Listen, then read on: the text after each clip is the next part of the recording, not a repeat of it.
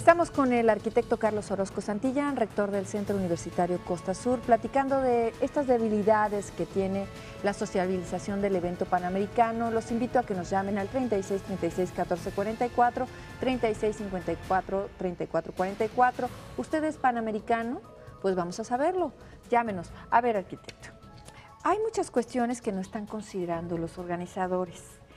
Esto, estamos en tiempo igual que en Río de Janeiro.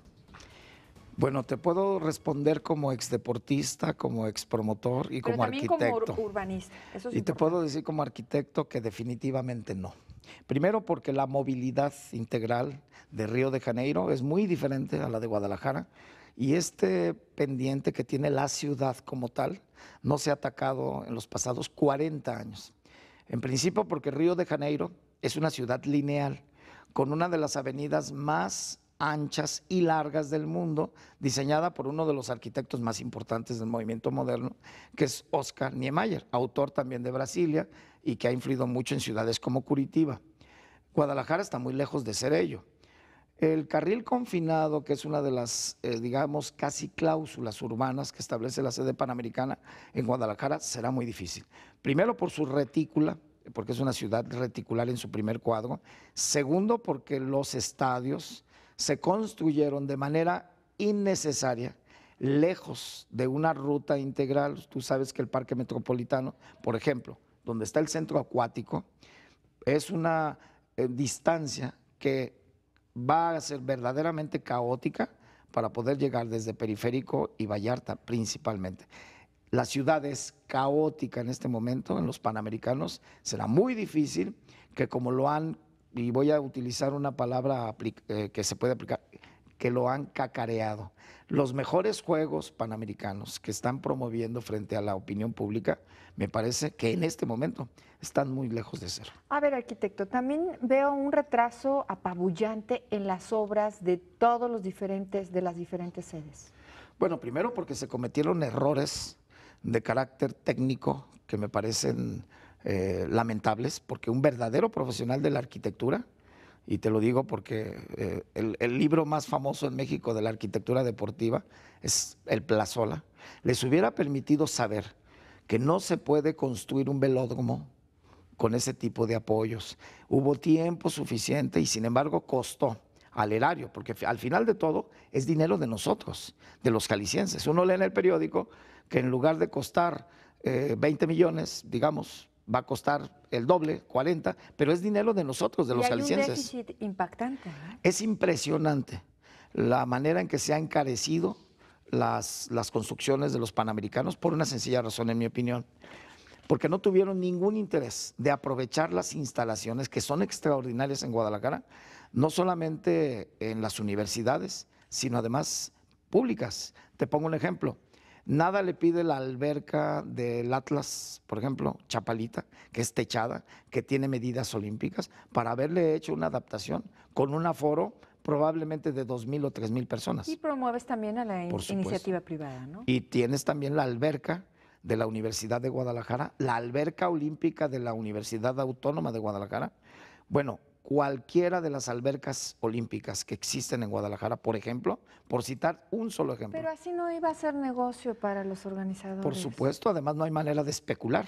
Recordemos que cuando se construye una instalación con recursos públicos, se impacta en todo el entorno urbano. Entonces, si tú construyes en el Bajío, que es un área supuestamente protegida porque es un escurrimiento natural, es parte de la zona de amortiguamiento de la primavera, pues tú te puedes imaginar lo que subieron los terrenos de un fraccionamiento en donde, por cierto, otra deportista por su nombre promueve, que es Lorena Ochoa.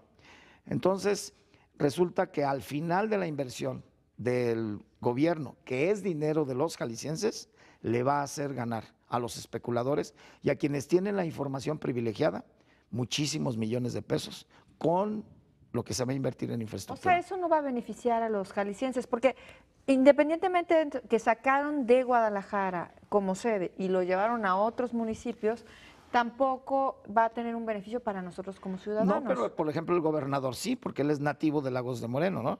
Ah. Por lo tanto, entonces su ciudad natal, y solo por decisión de él, tendrá la sede panamericana del béisbol, una, efectivamente una región que puede ser béisbolero, pero no hay una región que no sea en México fundamentalmente futbolista. Los mexicanos tenemos en el fútbol pues, una de las culturas más arraigadas, igual que los argentinos. Ahora decía este, en su momento el doctor Carlos Andrade Garín que iba a ser el mayor eh, la mayor construcción y obra que se iba a dejar para el Estado de Jalisco en instalaciones deportivas.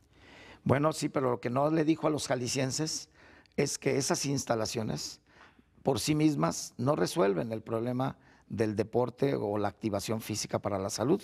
Se requiere de una estructura humana, se requieren profesores de educación física, se requieren entrenadores, se requieren técnicos, se requieren operadores que la limpien, la mantengan y se requiere de una, de una no de una inversión, sino de un presupuesto que permita limpiarlas, cuidarlas y mantenerlas. Quiere decir que el señor Andrade Garín cree que al construir una alberca, de manera automática, la gente aprende a nadar. Se requiere una gran inversión por parte del Estado, pero además permanente, lo que llamamos irreductible. ¿Habrá el impacto deportivo como se espera? De, acuerdo a lo que usted ya vio en Río de Janeiro. No, porque si así fuera entonces Estados Unidos sería campeón mundial de fútbol, soccer, porque tiene los mejores estadios. No, eh, el impacto de una instalación se deriva de una estructura y de un sistema que no existe en México. El medallismo en México es uno de los problemas sistémicos, estructurales, que nos han obligado a no regresar a las medallas que tuvimos en 1968.